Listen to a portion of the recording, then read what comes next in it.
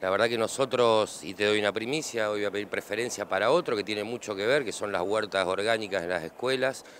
Nosotros a contramano de lo que está planteando el gobierno nacional creemos que hay que sostener y fomentar el minifundismo, sostener la producción local, sostener a todas estas familias, que es una característica especial de Misiones, de pequeñas chacras de 5, 10, 15, 25 hectáreas, ¿no? Eh, ante el desguace encima que están intentando desde Nación, ¿no? con la Subsecretaría de Agricultura Familiar, con los despidos de los técnicos, con eliminar el monotributo social agropecuario, con dar de baja programas, con meter la ley Monsanto que van a insistir, entonces realmente eh, nosotros creemos que hay que sostener ese modelo productivo de emisiones, fomentarlo y aumentarlo, porque no le vemos sentido a, estar importando verduras o alimentos cárnicos de otros lugares cuando acá los podemos producir perfectamente, ¿no? Entonces, soberanía en la tierra, soberanía en el agua, soberanía en la producción, para progresar, para mejorar y para defenderse de este modelo de los desiertos verdes que quieren imponernos a toda costa.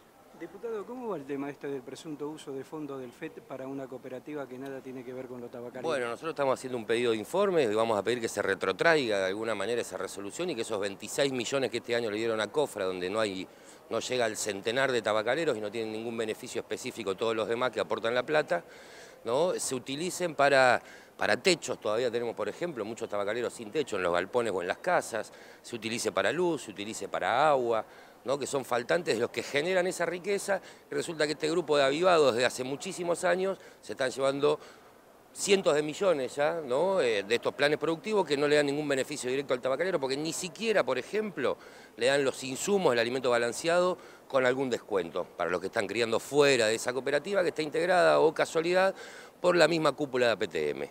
¿Qué análisis hace de lo que ocurrió anoche en el Congreso? Bueno, la verdad que, y, y en esto voy a ser sincero, cuando empezó la investigación a debido nosotros hicimos llegar nuestra voz de decirle que, que él se ofrezca, el que no tiene nada que esconder, que, se ofrezca, que se ponga a disposición de la justicia. Entonces, la verdad que ponerse a disposición de la justicia si uno no tiene nada que esconder, me parece una buena postura. Lo que sí me parece que hay un avance de una corporación judicial ¿no? enfocándose en un solo sector, y no hablo de culpabilidad ni de inocencia.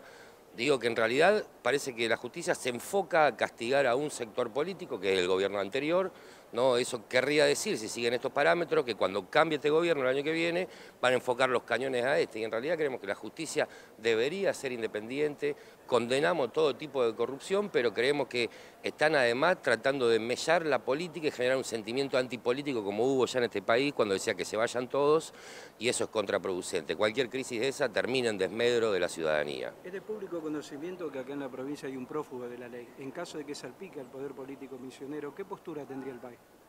No, nosotros te lo vuelvo a decir, nosotros estamos en contra de la corrupción. La verdad que yo veo que se hace tanto, tanto por, por tomas y por ejemplo hoy se atrapó a Carballito, un tipo prófugo por delito de lesa humanidad, que me parece mucho más grave, ¿no? Secuestró y participó de secuestros y fue cómplice de, de, desapariciones y de torturas, y sin embargo no vi ningún diputado radical con los cartelitos, parece que se les importa más un tipo que está acusado de corrupción que un tipo que está probado y está sentenciado por delitos de lesa humanidad.